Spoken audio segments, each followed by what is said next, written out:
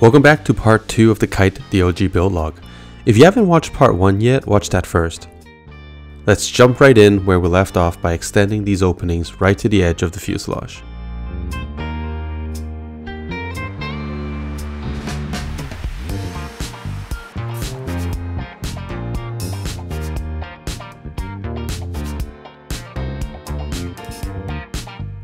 After mounting the wing back onto the fuselage, I checked to make sure that the flaperons are moving freely, and noticed the first mistake I made.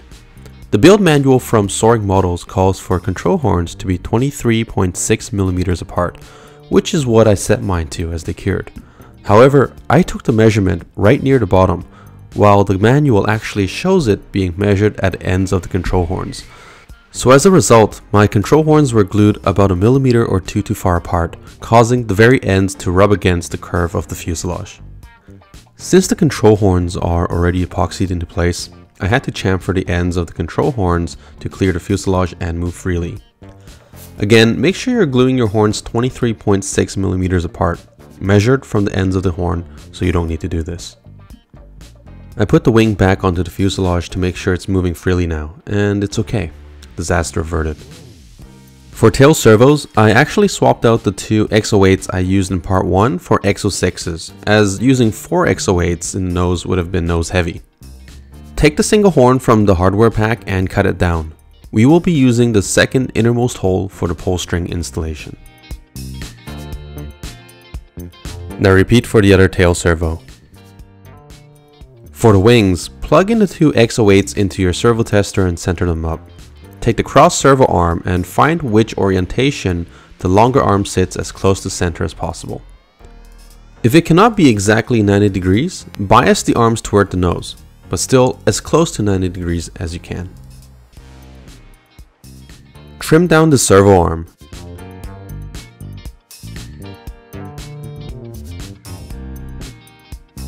For the wing push rods, we will be using the innermost hole.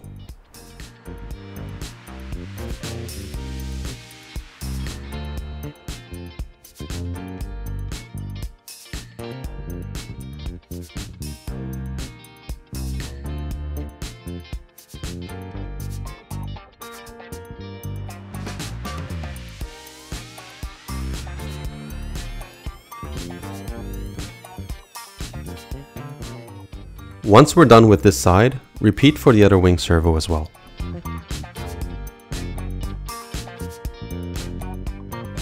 Roughen up the servos on the face that will be glued to the fuselage later.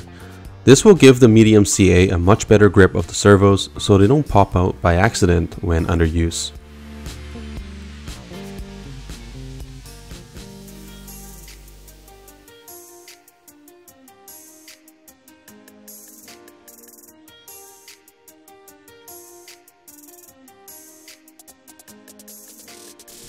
Okay, so originally I had my servos laid out like this.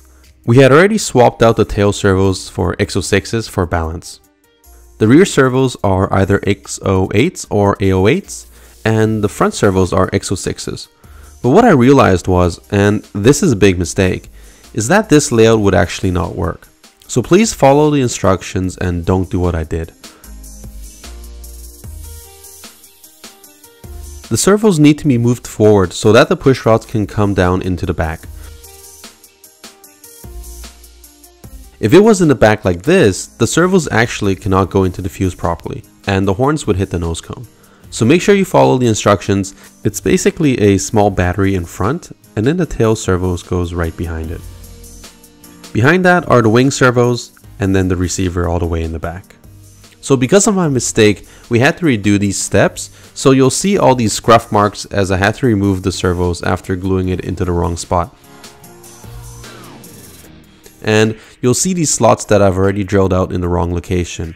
We do need to cut new slots, so just pretend the old ones aren't there. Before installing the servos, I first lay a piece of masking tape over the tray so we can mark down all the relevant details.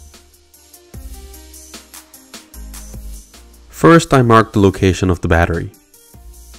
Then I mark the location of the tail servos as well as where their servo arms go.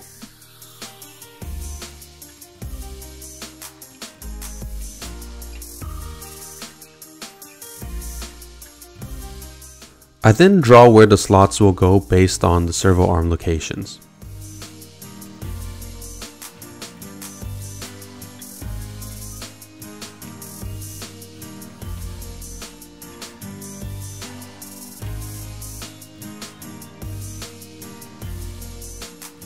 Place the servo so the servo arms point into the fuselage, then mark the center of the slot.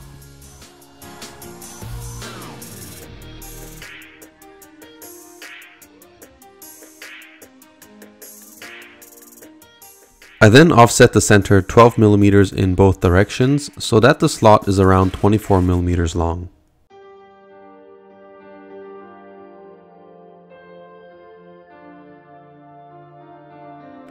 Once that is done, using a diamond burr bit and a Dremel tool, I roughly grind out the slots.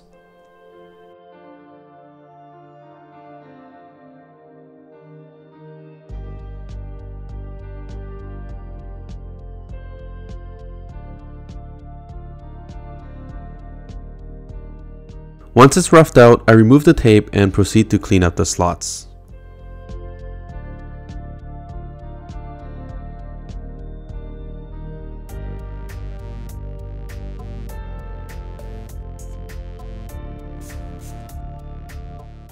Switching to a ball end burr bit, I rough up the tray where the tail servos will go. As you see, the rear part of my tray is already roughed up when I did the wrong install earlier. I tape the battery to the nose as a reference point, then I test fit the servo once more to make sure there's no surprises. I clean the servo and apply some medium CA.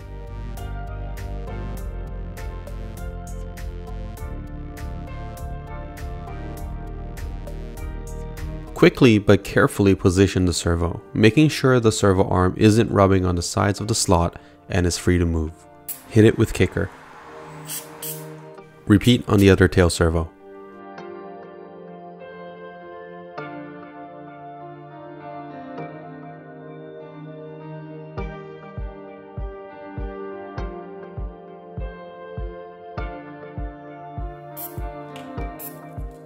Next up, we prepare the wing servos.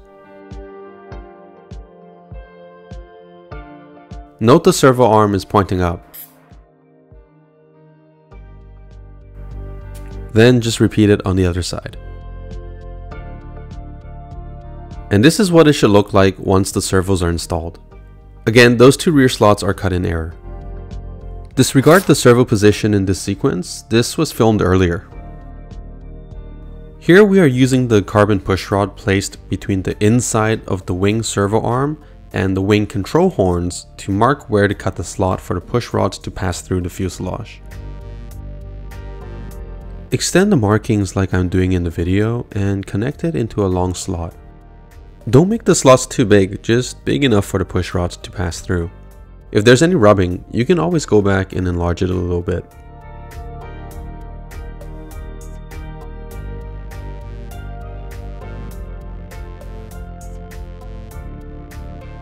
Using a burr bit on my Dremel, I start opening up the slots. This is just a rough pass, so don't get too close to the edges yet.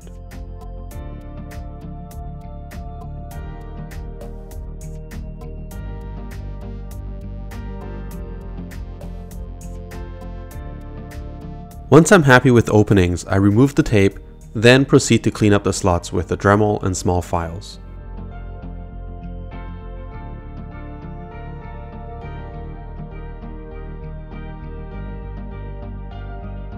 The kit comes with two sets of pushrod ends pre-bent from the factory. The left set is for the servo side, and the right set is for the wing control horns. Cut some grooves with a cutoff wheel. This will help with adhesion to the carbon pushrod. Now repeat this on the other three pieces as well. Once that is done, spray with alcohol and thoroughly wipe the pieces clean. Apply thin CA to one of the pieces that hooks to the wing and slide it into the carbon pushrod tube. Wick in a bit more CA, then spray with kicker. Place that aside and let's repeat it on the other pushrod.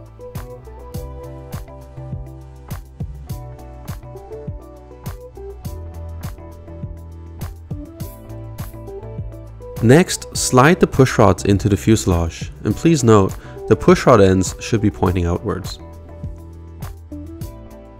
Now another thing I noticed is that those push rod bends at 90 degrees will not fit in the fuselage, it's just too tall. So I confirmed it with soaring models and they actually should be around 45 degrees. So I used some pliers to lessen the angle and then slipped it back into the fuselage. I hook the push rods up to the wing, then connect the wing to the fuselage. Now everything fits properly.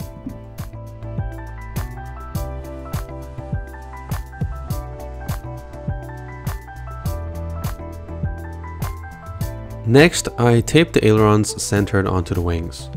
Then I take more masking tape, and this is used to mark the length of the push rods. I'm cutting the push rods so they end roughly a centimeter from the servo arms.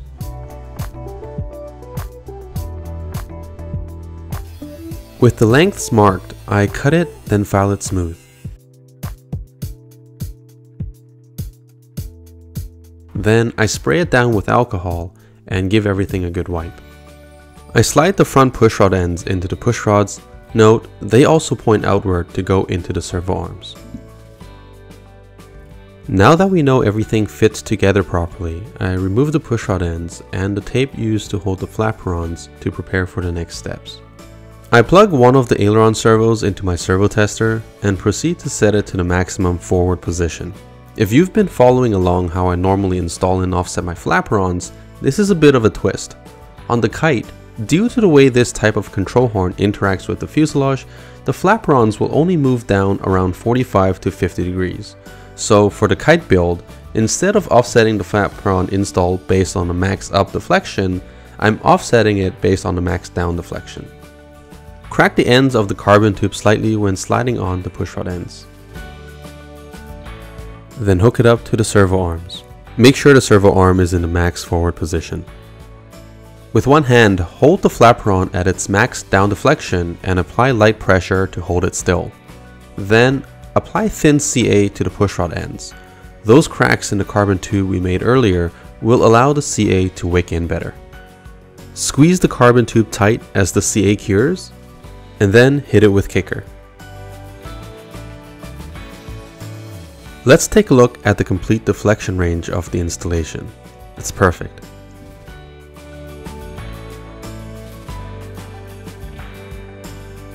With the first side done, let's repeat this process on the other side.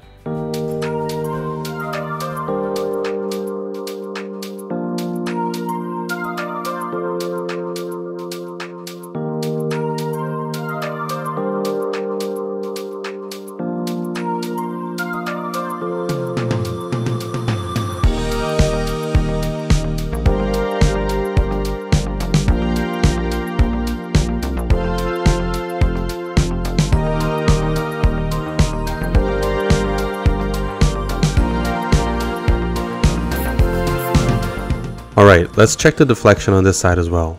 And I think we're good to go. Remove the wing, then remove the push rods.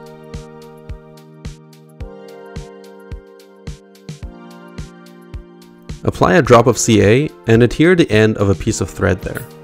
Hit it with kicker. Add a little bit more CA along the length of the ends and wrap the entire location with thread. This will prevent the carbon tube from splitting. Once you're satisfied, apply CA along the length and cut the thread. Soak the area and all the thread in thin CA. Then hit it with kicker. Repeat this on the other end of the push rod and when you're finished, slide it back into the fuselage. Take out the other push rod and repeat this process. Okay, when you're done, slide it back into the fuselage and hook it back up to the servo arm. Now add a drop of thin CA to the ends of the push rods and we're going to hit this with kicker. So this is going to act as a keeper so that the push rod doesn't slide out. Wow, that was intense. So let's relax and slowly put the wings back onto the fuselage. Let's also assemble the stabilizer to the fuselage and set the model down so it's nice and level. Next, slide the fin into the pre-cut slot on the boom. Make sure it's 90 degrees to the elevator and wing, then glue it with thin CA.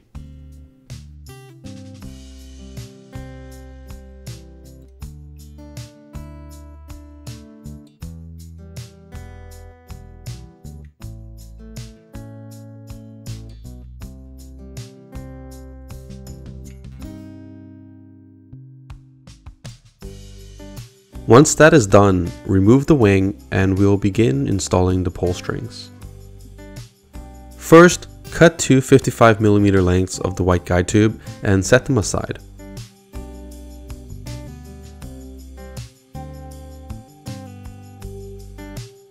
Take one of the pull string wires and take one crimp and thread it through. We're going to make the loop for the elevator.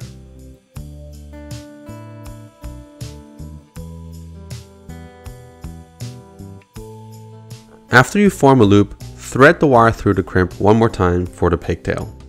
This makes it much easier to fish the loop out of the fuse when it falls inside.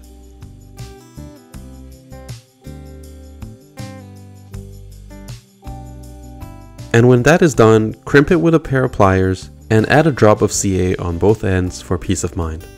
Insert the other end of the wire into the elevator slot and thread it forward. Slip the wire into the plastic guide tube. Then proceed to glue it onto the ballast tube. Pull the wire until the loop gets close to the elevator horn and then hook the loop onto the horn.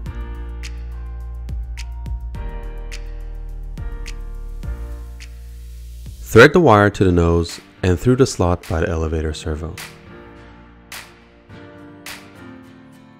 Thread the wire through the second hole on the servo arm.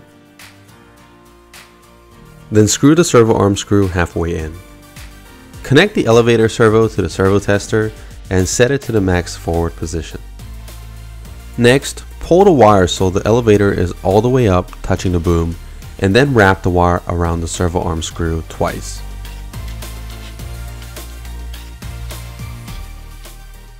Tighten the screw to hold the wire and when that's done, check to make sure everything is moving freely.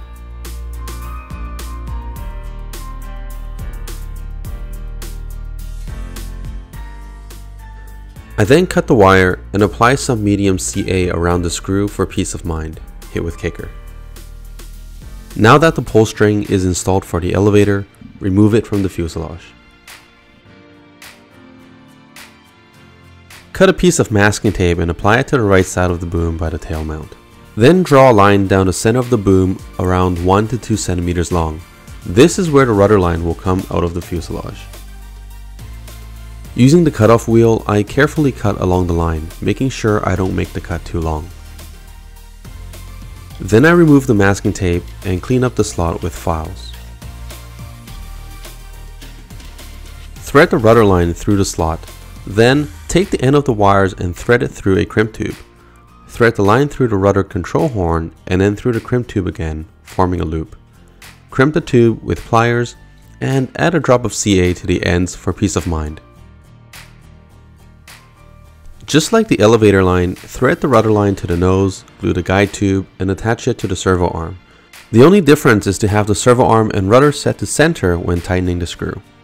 And lastly, I added the screws for the wing servos, and we're done. Thank you for tuning in to my first kite DLG build. Don't repeat the mistakes I did, and have fun. If you liked this video, remember to like and subscribe. See you soon.